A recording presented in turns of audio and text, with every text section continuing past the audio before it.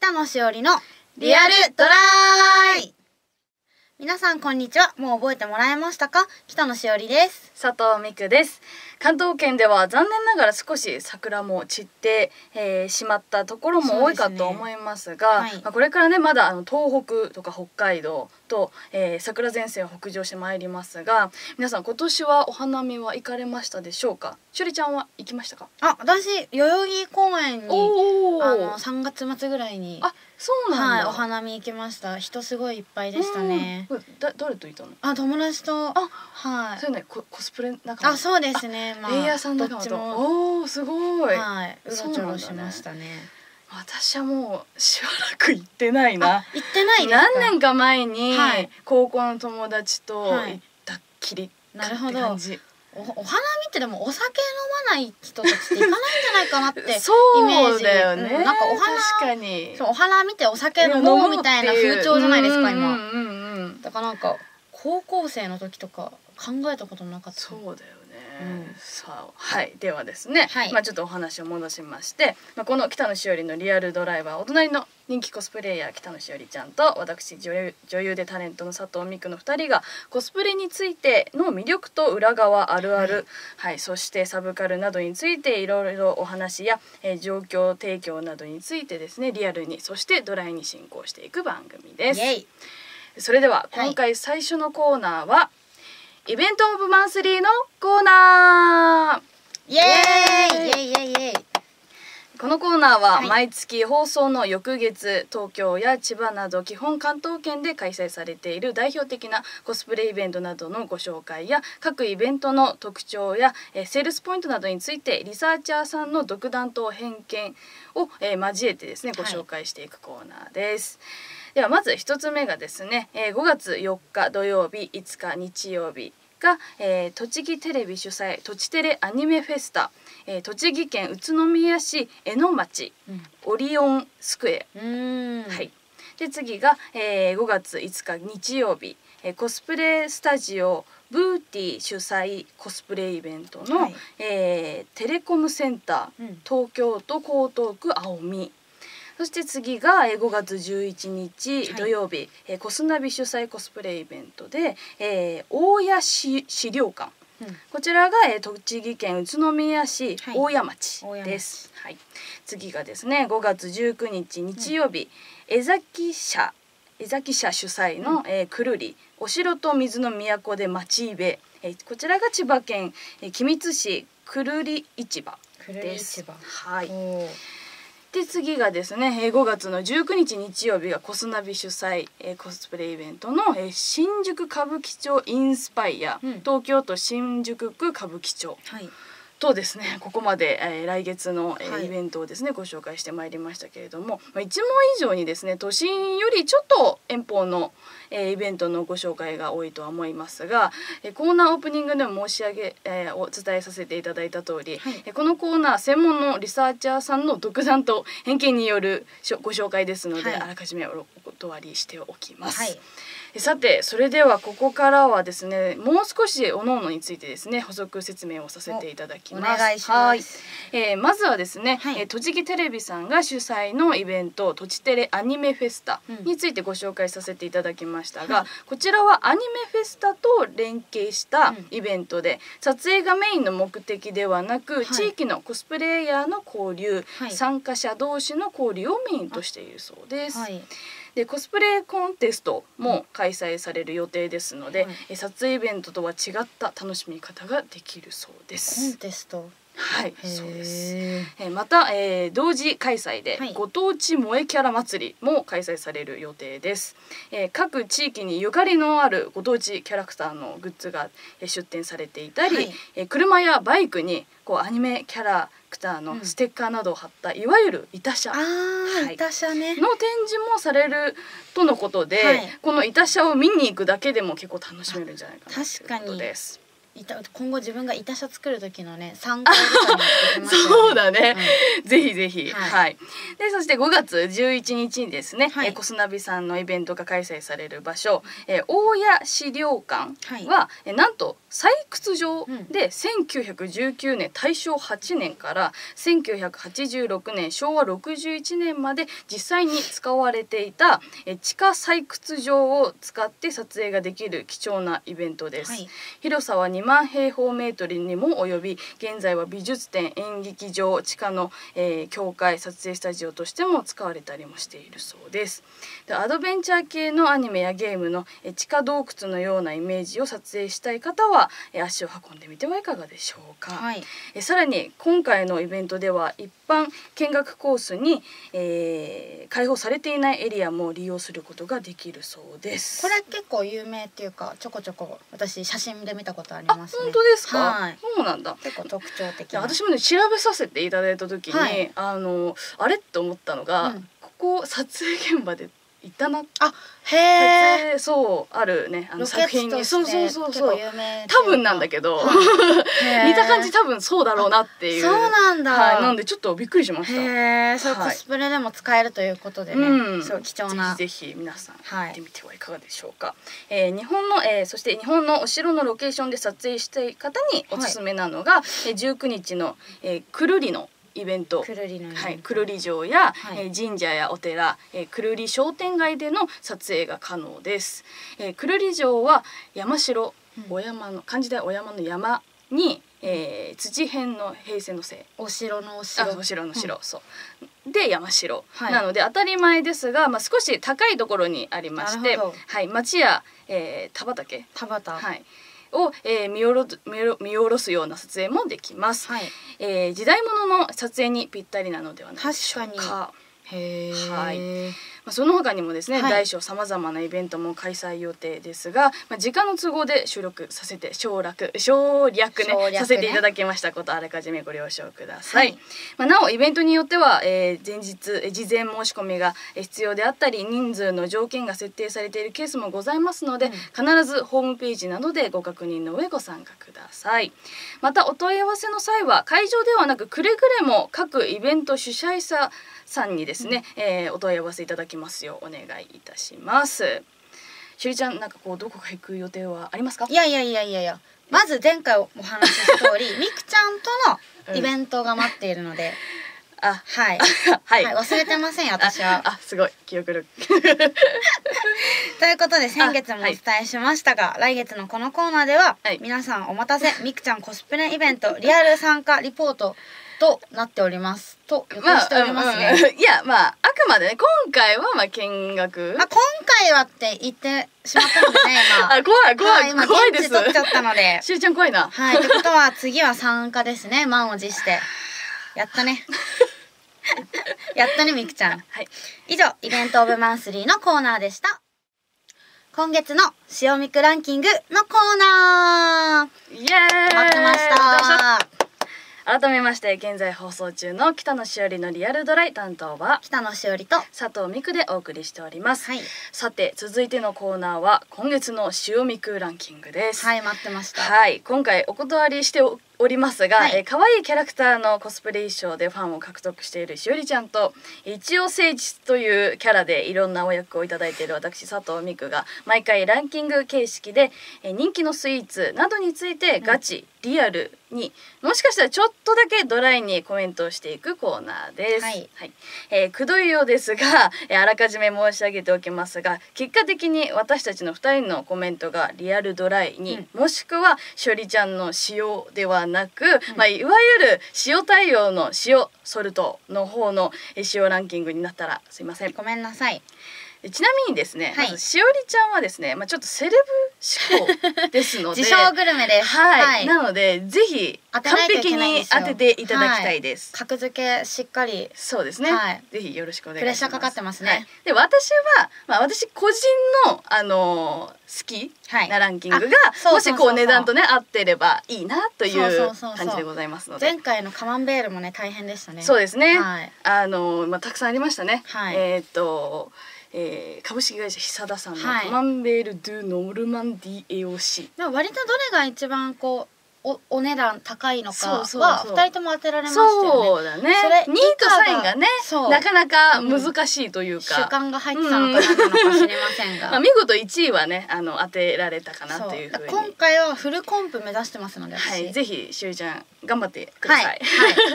ではまず今回のラインナップですかね、はいえーとですね、え今ーで今回は初のフルーツの、えーランキングに挑戦ということでなるほどバナナ。はい。を、えー、3種類有名店のものを含めご用意いただきましたので、ちょっとね、あのー説明ねさせていただこうかなと思います、まず一つ目が一番高いものなんですけれども、はえー農業法人うん。神バナナ株式会社さんの、えー鹿児島県産神バナナ。うん。こちら3本入りのえー2631年1名前円。からもうねすごいですね。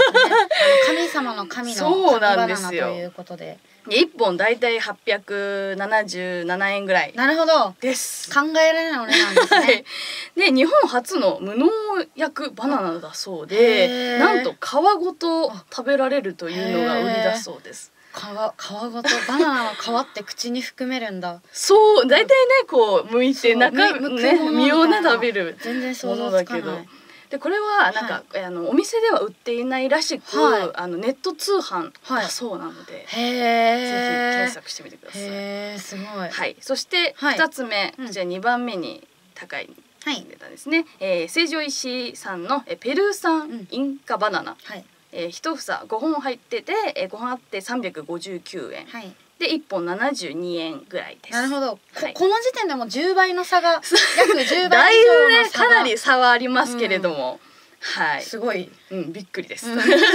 全然想像つかない。はい、で続いて最後がで3つ目がですね、声優さんの、はい。えーフィリピン産のはい。優しさバナナ、優しさバナナ、はい、1房4本入ってまして、はい。96お円。安い。優しさですね、はい、1本24円ぐらいお値段もお優しい、すごい。いやすごい。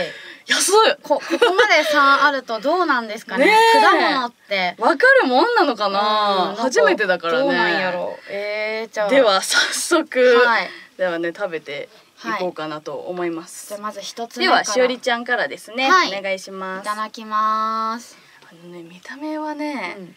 あー違うねって感じ。なるほど。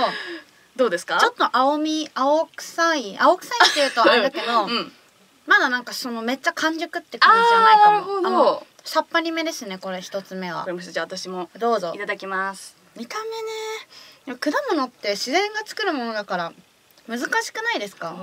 私わかんない。ないいつも食べてるバナナの気がする。なるほどなるほど、うん。おなじみバナナって感じおなじみバナナ。二つ目結構私好きですね。ちょっと固めな感じが。そうなんだ、うん。じゃあ私二つ目つ目お願いします。どうですか？うん。いやややっぱ見た目違うね。あ本当に、うん。A よりも A ってか一つ目よりうんも、一つ目よりも。あの果物の味しますあジューシーってこと？ジューシーそうそう。甘い甘めかな？あ本当？はい。じゃあ私もどうぞ。二つ目いただきこれます難しくないですか？どういうことやねん？もうギブアップしちゃいそう。え？ギブアップしません。どう？私は、うん。えーえ最初ね最初に食べたのが甘いかな、ええー、それってどうすんの？それってどうすんの？硬さはそんなに変わらないけど、うん甘さは最初に食べた方があるかもしれない。なるほど。じゃあ次最後はい。お願いします、み三つ目いただきます。これねこれ多分ねうん。わかりやすいんじゃないかな、どう？おほあら。私これ一番えわかんない。これ難しいよ。でもこれが一番早く私食べたいもん。フルーティーでうん。甘い感じがした。本当、うん。じゃあ私も早速どうぞ。いただきますね。ぜひお召し上がりください。いただきます。いやこれ格違う。え格違わない？もう噛んだ瞬間から違うね。ふふわってかお菓子食べてるみたいな。ああなんか二あのさ、えー、最最初と二番目に食べたのと比べると、だいぶ柔らかいそうそうそうそうそうそう。完熟バナいやナいう。わたこれねこれわかるよ。いやでもそう違ったらどうしようって不安 まあでもる違っねしゅうりちゃんは絶対当てなきゃいけないいですから。やでも一番私はこれが最後のが一番美味しく感じたかもしれないから、うん私私は自分の舌を信じますよ。では、はい。あじゃあ一人私と一人ずつ、はい。あのまあランキングをねランキング順位付け。じゃあはい。まず私の第三位は、はい。B です、B B2 番目に食べたバナナです。二番目のバナナ。はい。はい。で一応書いとこうね。そうですね。えー3位私が3位が B ね、はい。2番目に食べた、はい。で2位がはい。A に,、はいにさ一番最初に食べた。E A はい、はい。A ですね。はい。で第1位が第一位。もうダントツ C あはい。了解。C です、はい。なので私は、えー、2番目と1番目3番目の、えー、女優順番順番です。はい。私はちゃんはいお願いします。えっと一番だお手頃かなって思うのは、うんうん。第3位。A 第3位 A はいはいはいはいはい。で第2位一番中間のお値段はい。はいかなって思うのはまあ B おうおうおう。はいはいはい。で一番高価なはいはいはいバナナなのではないかなって思ったのが C ですね。なるほど。うん。じゃあ ABC ということですね。ABC 3位から数えると ABC ね、下からはい下から数えると、ABC はい。では結果発表。結果発表ドキドキです。でははい。もう開けますね。せーの。はい。はい。はい。はい。おえ？あじゃあ一番お値段が、えー、お安いお安いお手頃なえーお手頃なのが、はい。えー、一番最初にはい。食べた、はい。えー、声優さんのフィリピン産優しさバナ優しさナバナナ。A ですね。A ということは、はい。あまずそまず全部言おうか。全部よはい。はい。でそして、えー、2真ん番目が中の真ん中価がが2番目私たち2番目に食べた二番目に食べた。はい、成城石井さんのはい。ペルー産インカバナナ、インカバナナ。そして C, C 最後最後ですね最後に食べた。食べたのが、えー、農業法人神バナナ株式会社さんの神バナナ、いやねすごい。ということはですね、はい。まず私佐藤美久は、えー、3位が私 B と言いました。はい。なのでみくちゃんは安い、えー、と成城石井さん、えー、声優さん、えー、神バナナさんですね、下二つ入れ間違え間違えてますね。ということは、ということしおりちゃん、はい。素晴らしい。大正解です。大正解です。よかった。いやでもこれあのー、すごい。成城石井さんと声優さんのバナナうん。は結構僅差。僅差。わからなかった。難しかった、うん。でもその一番お高いバナナはそうね。ほんとすぐ分かった。もうザ神バナナ。そう本当になんか一つだけ格違うっていうか違うね。なんか値段のお値段の違いが味に出るんだなうんみたいな。すごい。いやそう。もうねあの私たち色出てきた瞬間から、うん。私はでもあ C 絶対高いなっていう。そうなんだ。もうなんか全2層になってるの。完熟の部分と、はいはい。ちょっとまだこう硬いその外側の部分うん。っていうのがすごく分かりやすい。へえそれは全然分かんなかったかも。ただ、うん。その紙バナナはすごい臭みが全くない？そう。あのフルーティー。ほんとスイーツ、うん。うん、ムースこれでも皮ごと食べてみたいね。ね気になる気になる果たして皮はどんな味がするのか、ねちょっと高いのでちょっと自分で買えないのですけど、うんそう。なかなかね。なかなか。お高いですけれども。こんなこのバナナ食べれたの結構貴重な体験じゃないですか。普通に生きてたら食べれないですよ。でその紙バナナさんの,、はい。あのこう送られてくるとこういうパンフレットみたいなぜひ、はいはい。あの映像配信版でご覧いただければなと思うんですけども、はい。こだわりのパンフレットもね皮ごと食べられるなるほど。紙バナナということで、すごいブランドとして買ってます ちょっとお高いんですけれども、はい。ぜひね皆さんはい。食べていただきたい本当格別格別だったので。でももちろん成城石井さんでもあったり、はい。声優さんもやっぱり美味しいですね美味しかバナナ。った美味しかった。うん。なんか久々にまた食べようかなと思います。なかなかねバナナ食べないんですけども。そうなんだ。はいでははい。で今回はお見事しおりちゃんおめでとうござい大ます。正解ウィナー。素晴らしい。ウィナーでした。では次回も次回というか、そうですね。来月もぜひ頑張っていただければはい頑張ろうとなと思います。思います。はい。以上今月の塩みくランキングのコーナーでした。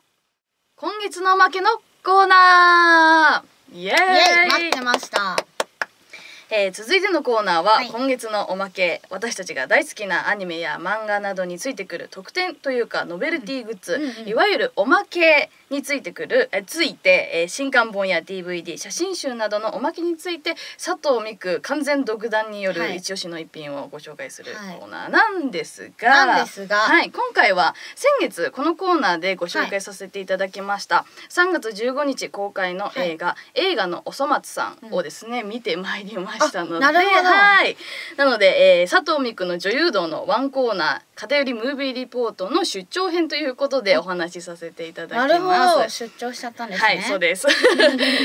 まずですね、こはい。のおそ松さんとはですね、えー赤塚不二夫さんの名作ギャグ漫画おそ松くんを原作にはい。2度にわたって制作放送されたアニメで、ニートの大人になってしまった松野家の六つ子の、えー兄弟が繰り広げる日常を描いて人気を集めたギャグアニメが完全新作となるほう。映画劇場版です。なるほど知ってますかしおりちゃんおそ松さん。なんかふんわりあ のカリスマニートの6人のカリスマニートその後の日常アニメっていうそうだね。イメージですね。うん全然知らないです。ごめんなさい。今ねすごい若い私たちぐらいの世代の子はめちゃくちゃ人気がねあるんです。認知はしてます認知は。ね。詳しくないだけ。はい、はい。ではですねあらすじはなんですけれども、公式ホームページによりますとまあある日高校の同窓会に訪れた六つ子たち、ちゃんとした大人に成長し社会人として活躍する同級生たちとの再会で対照的なうん。冴えない自分たちの現実に打ちのめされ、焼け酒を煽りうん。眠ってしまう、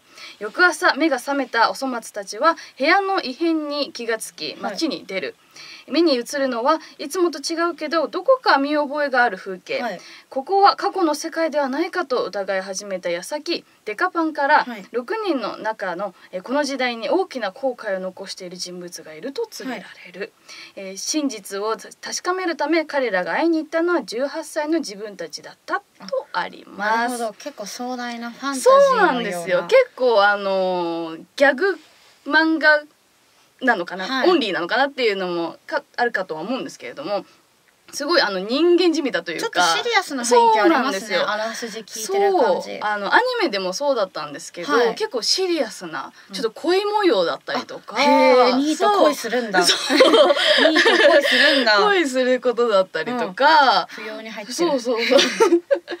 まあギャグももちろんなんだけど、はい。あの全然本当になんだろう一人一人のはい。苦悩とか、はい。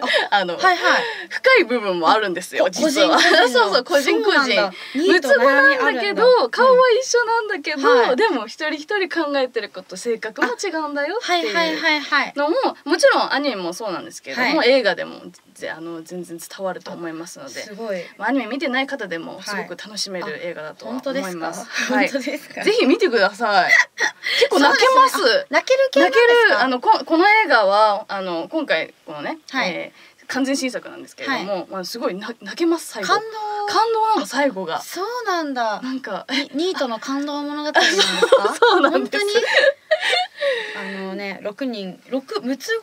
そう。でそれぞれあの個性があるんで個すよね。性があるんですよ。アイデンティティちょっとや病んでる子もいたりとか、あはい。真面目なそうで、まあ、ニートなんだちけどねっていう。ーみたいな人もいますよとねかそうそうそう、うん。だからちょっと頭のネジ一本抜けてるかなっていうキャラもいますしでもすごい面白いんですよ。でこのあのーすごく面白い部分が一個ありまして、はい。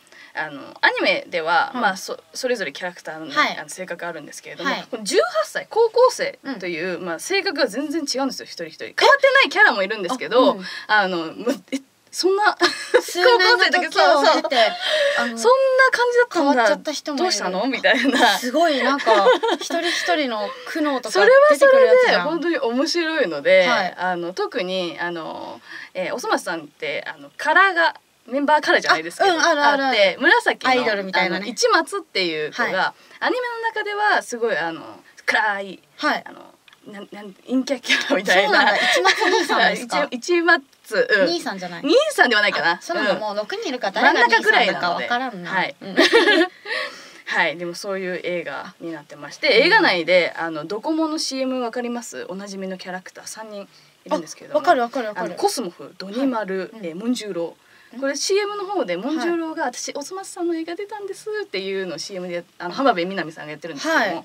あの本当に映画に出てきます。へなのでえぜひ皆さん探してください。はい面白そうですね。あの私はドニマルとえっ、と新田真剣さんが、はい。やっていらっしゃるあドニマルと、浜辺美波さんのモンジューローは分かったんですけど、はい。